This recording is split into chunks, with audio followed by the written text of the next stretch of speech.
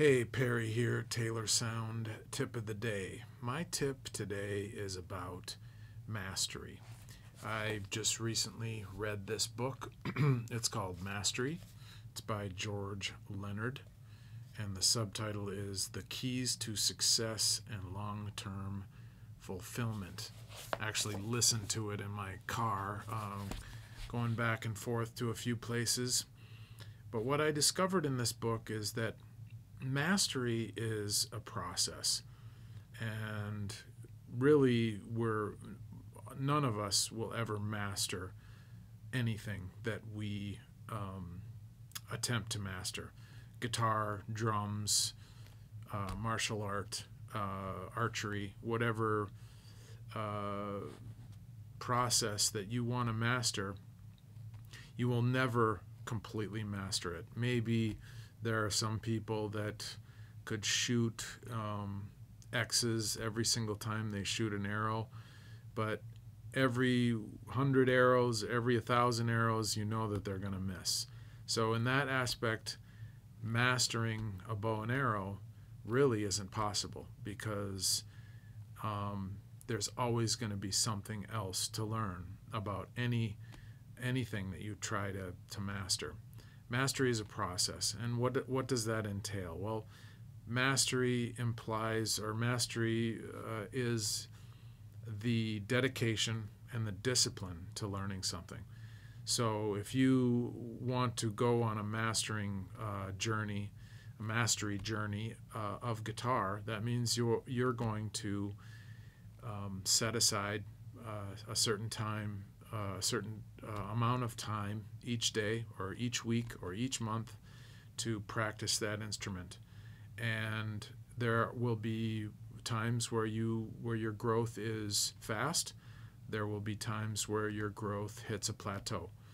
These plateaus are probably the hardest part to master.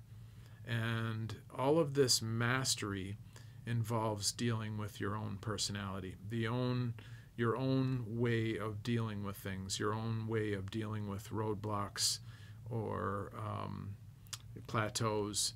And the bottom line is if you sit down and play your guitar, uh, shoot a bow, uh, practice a martial art consistently and over a long period of time, you are on the road to mastery.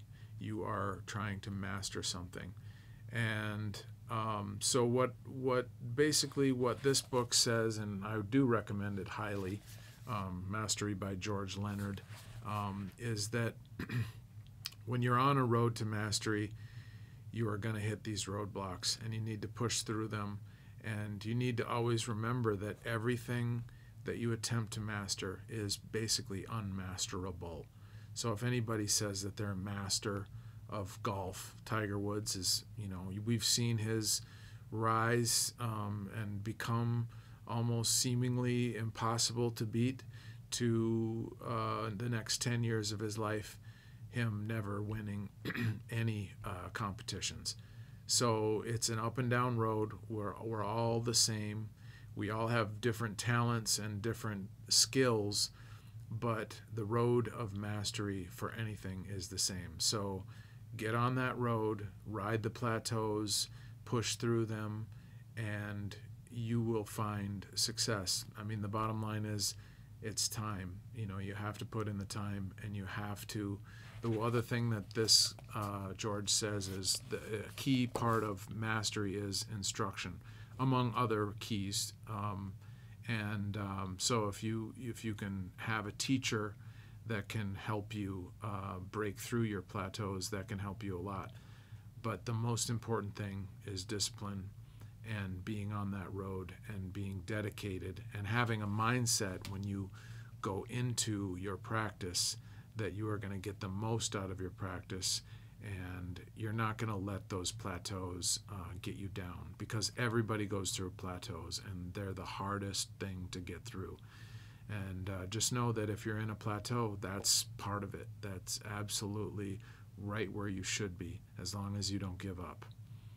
Hope that helps. Rock on.